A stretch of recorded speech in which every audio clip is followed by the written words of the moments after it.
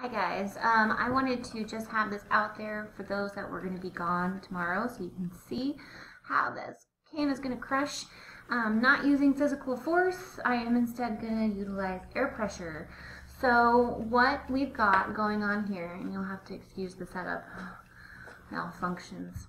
Okay, so I've got my pop can on the heater.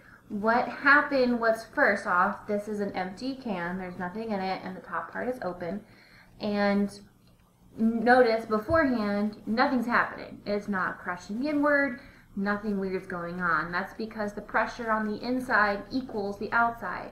And because we have this hole up at the top and it's open, it's allowing the pressures to still be the same. So even though I might be changing what's going on on the inside right now, that hole is still there. So air can get in and out if it really needs to. So that's why we're not really noticing any crunching going on yet. Okay, and I have a little bit of water in there and I've been boiling it on my hot plate. And the whole purpose of the boiling of the water is I'm trying to replace the air that was in the can first, um, trying to drive it out and replace it with the water vapor, the steam that's coming off of that water that's evaporating because of the high heat. So if you can imagine, you can see the steam coming up out of the top. Imagine that's the air being forced out. We really want to get as much air out of that before we move on to our crunching. So in here, I just have some cold water. I'm going to try to remove some of these ice cubes um, so that they don't get in the way. And then I've got my trusty tongs.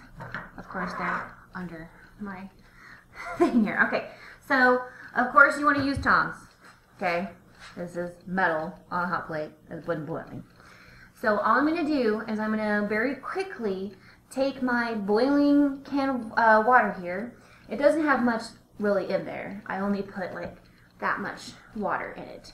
Um, and it's been boiling for a while now. But you don't want to wait until it's completely dry. Okay, so I'm going to tip it up and invert it on the inside so that the um, hole at the top is completely covered with the water. And let's cross our fingers. There you go. The powers. Okay, so, and now that I'm doing this, notice how I'm touching it very easily. It's not hot, it's cold, it cooled it down immediately. And what happened was I sealed the top part of this so that when it was upside down, what the, the cold water was making that steam condense. Remember cold we learned yesterday um, naturally wants to kind of shrink in and condense. So all of that water vapor was wanting to squeeze inward and it didn't have a way to equalize and bring air from that open spaces in through the bottom because we sealed it up. So the cold made it condense and it became much lower in pressure than normal. So lower pressure on the inside, the room stayed the same, but because the room is now so much greater in pressure than our new lower pressure on the inside of the can, the can crushed in. So there you go. Science at its best.